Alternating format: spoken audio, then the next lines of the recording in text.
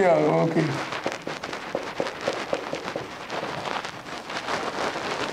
Or equipment uh, lifetime. So appliance lifetimes are usually modeled by exponentials sometimes. Why? Uh, if you, uh, this random variable has memoryless property, what does that mean? So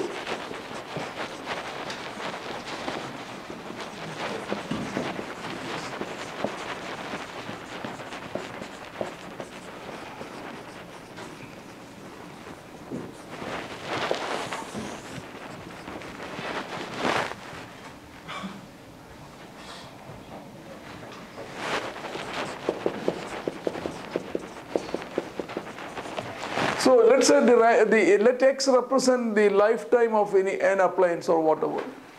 Uh, memoryless means if it has survived up to here,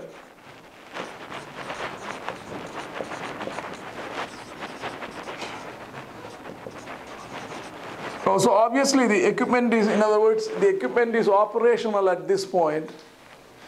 So uh, what is the probability that uh? So this is given. Obviously, if you're if I'm talking, I am uh, I am alive today, right? I'm not dead because I'm so. Uh, if you have survived up to here, what is the probability that it will survive another uh, uh, duration t? So.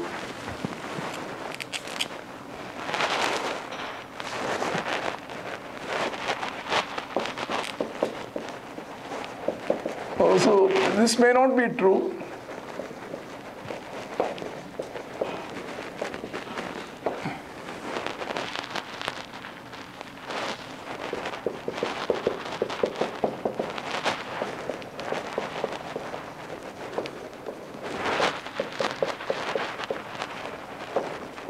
So I, am going to prove this. So so what I'm trying to say is, I'm going to show that the probability of survival is, is a memoryless process, uh, a memoryless event if the lifetime, uh, lifetime is after all a random variable, right? No, no, no one, none of us have any idea when we are going to uh, uh, collapse, right?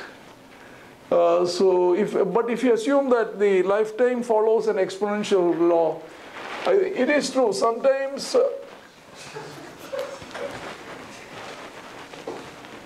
oh, did you switch it off or? Okay, that's yeah. What was the question? Sometimes exponential people write like this.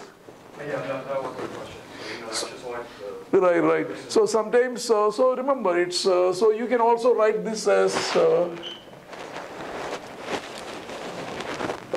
like this, and except with the understanding that your lambda is my mu, x one over mu, right? So either one is uh, fine, and uh, which one to use? uh, Just to make it clear which, which way you write, because it's one and the same, right? One person is using lambda, other person is using one over lambda. Mu is one over lambda. So uh, it's like frequency and time, right? Time is frequency is one over t, right? With t period, right? So we both are equivalent representation. Now your question is which one should you use? yeah. So how, how can we tell, So remember, it's like as I said, this is saying that frequency is uh, 100 hertz It's the same as saying period is 0.01, right? Which one is right? So what's the number represents? All right, that, that, I'll come uh, to that. So what it represents, uh, give me one more week. Right, Then we will see its a physical meaning. So the whole point is exponential has one parameter. You can write it either way. Let me explain to you what the memoryless property is. Last person on the phone, you are looking at somewhere else. So what this says is, what is the probability that I will survive Look at here. Given that I have survived up to here, what is the probability that the equipment will survive another t years? That's what the question is. So what is the probability that the equipment will be live for this, given that it has survived up to here? So I'm going to compute this probability for you. So you call this to be A, call this to be B. So this is equal to what? Probability of anybody?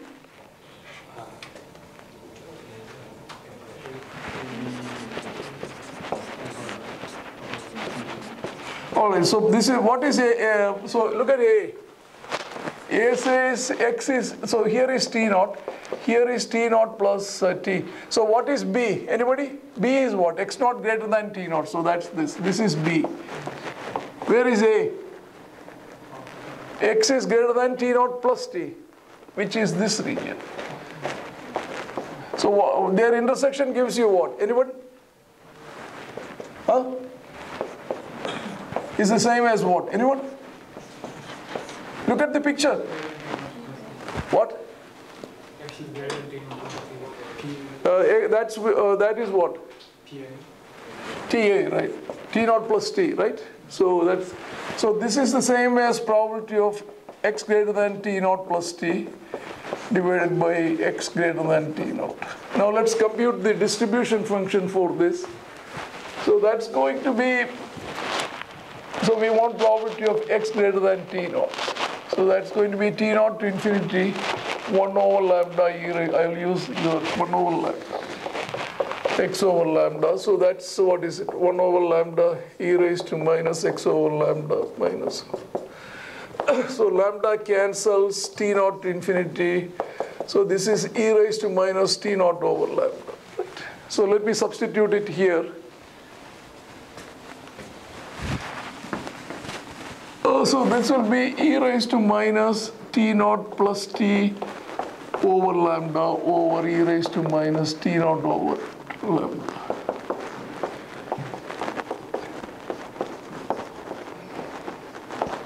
So what does it mean? Look, the, the present has no bearing. It has no memory how far. It might have lived 10 years already. So if this is true, it doesn't matter how far the how old the equipment is. It has no bearing in how much more it is. It is certainly not true about us. I mean, uh, right? The fact that you guys have only lived 20 years, that gives you more likelihood that you will live another 60 years. Uh, doesn't, it's not true in my case, right? So, but so also our lifetimes, of course, don't follow exponential law. But some equipments might. You may have a certain fan which is already 10 years old, then you'll say it's going to die, and then it may very well live for another 10 years, right? So, so if there are uh, situations, if you say uh, uh, that something follows exponential, you are implicitly saying that that lifetime is or has no memory. So if you say that is false, then your original assumption is false. In any case, the exponential has uh, uh, the survival is memoryless. Memoryless means it has no idea about the past. It doesn't know that it has already survived. This T naught doesn't come into the final expression, right? Uh, I have a question.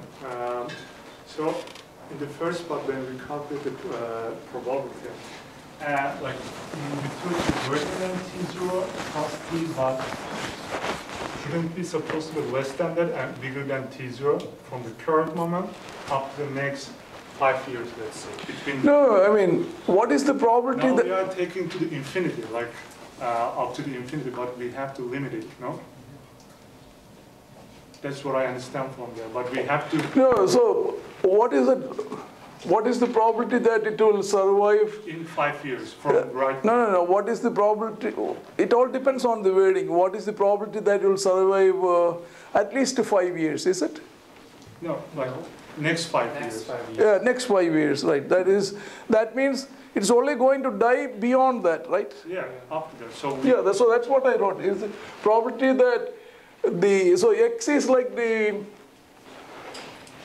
x is like the survival. So x, in other words, the machine will collapse. The lifetime is going to be uh, uh, uh, lifetime is going to. So what were you saying?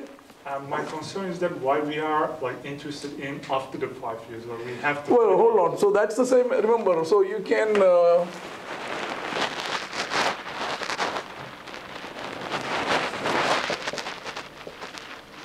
what does this mean? This means the uh, x is greater than t means whatever is this random variable uh, that occurs, if it represents the, li- uh, the lifetime, the survival period, that's beyond t. Yeah. That means it, it uh, survives at least t naught, right? This means the machine survives. Isn't it true?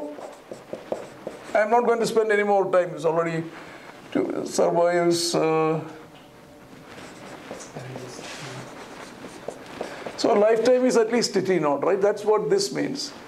So I think you should be able to figure this out. So in any case, you understand the, the whole idea is that, thi- look at here, this expression has T naught all over. But the, the answer turned out to be, remember, the answer turned out to be e raised to minus t. There is no T naught here. That means uh, whatever we, uh, whatever we are computing has nothing to do with T naught. It's free of that. That's what, but T naught is the fact that machine has survived up to now. And that means this, uh, this probability has nothing to do with that. It doesn't matter whether machine survived one year or 10 years. Uh, the probability that your washing machine will live for another five years is, uh, it only depends on that five years. But if you say, look, that's not true, then that means your assumption is not right. That's all I'm trying to say. Okay, let me move on. This is an interesting property of uh, exponential random variable.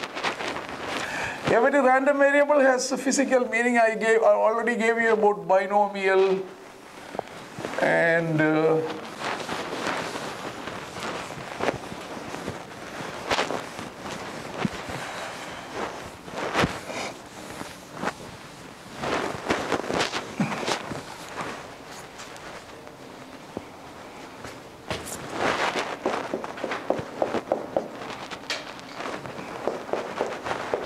So this is Poisson, right? Remember, Poisson is rare events. It's about arrivals. Uh, probability of x equal to k is e raised to minus lambda lambda k over k factor.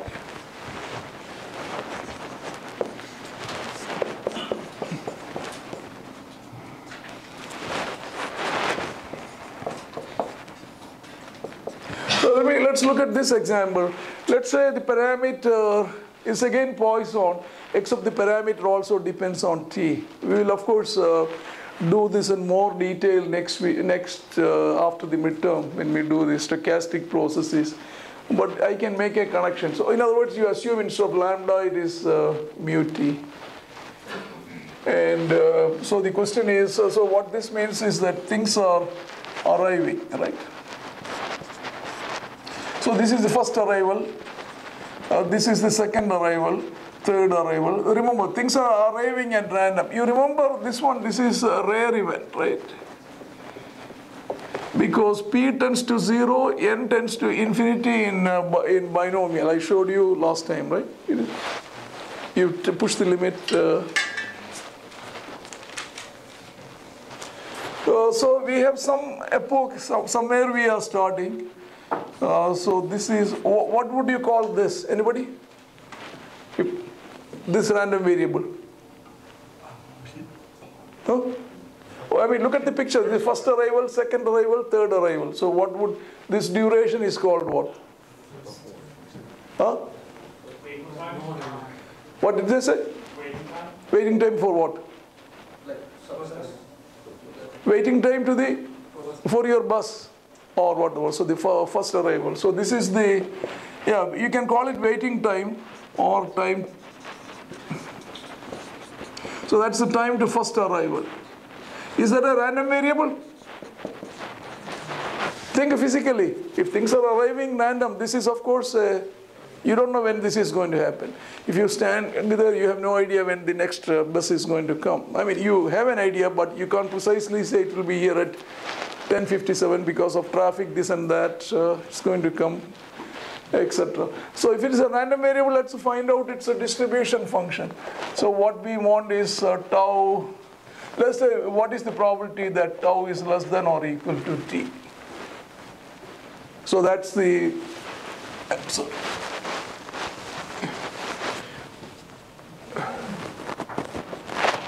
So that's the probability that uh, tau less than or equal to t. This is what we want to find out. Because if I can find out, I can take its density function and find the density function and see whether.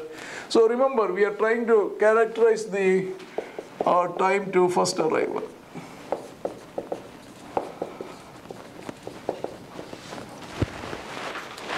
So the time you are going to, if your marriage is a Poisson process, so the time to first marriage, I guess. So anyway, so this will be So this is the function we want to write, but we know that uh,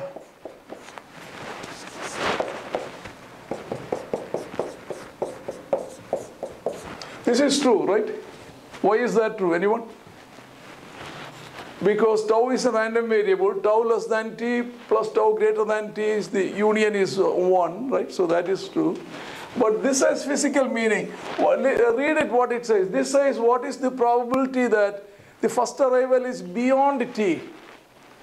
That means how many arrivals will be there in 0 to t? So if saying that the first arrival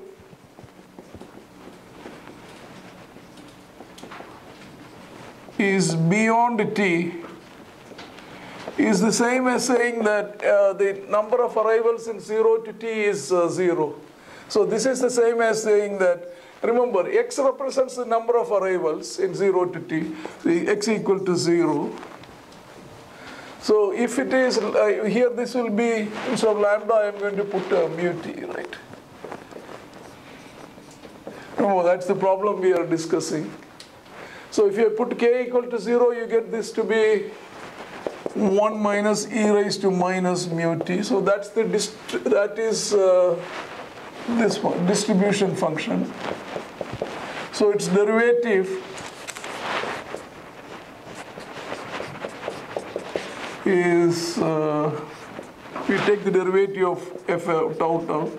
So that's going to be the derivative of that function. That's mu e raised to minus mu. What does this look like? The last line.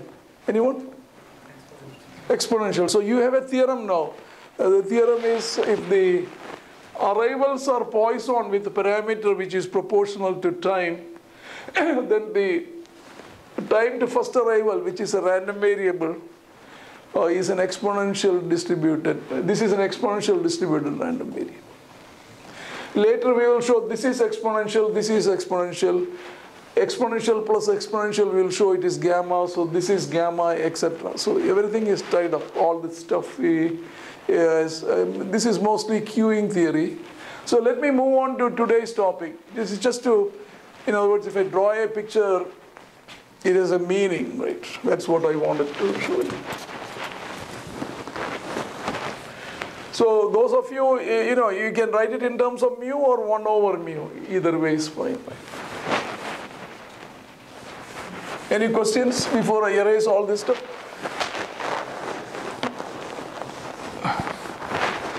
Uh, so here, just to make clear, what I am trying to say is that uh, this problem, what it says is if I take some duration, uh, whatever is happening is po- Poisson with parameter proportional to t. So wherever the t is, if the t is this much, the parameter will increase.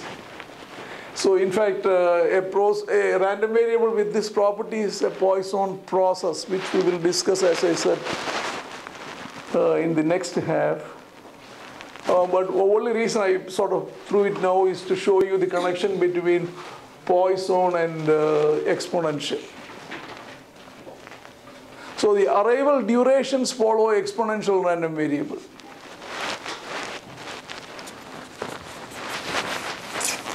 All right, so most of you as electrical engineers, I assume, uh, we want to sort of uh, see uh, we, any signal that comes in, we do some sort of processing, signal processing, right? One way or the other way, data manipulation.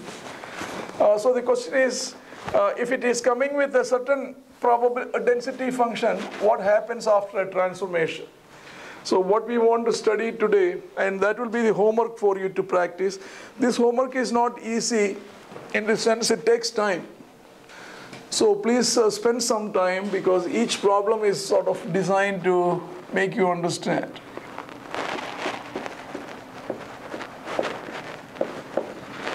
So Sushant, you can start something new if you want.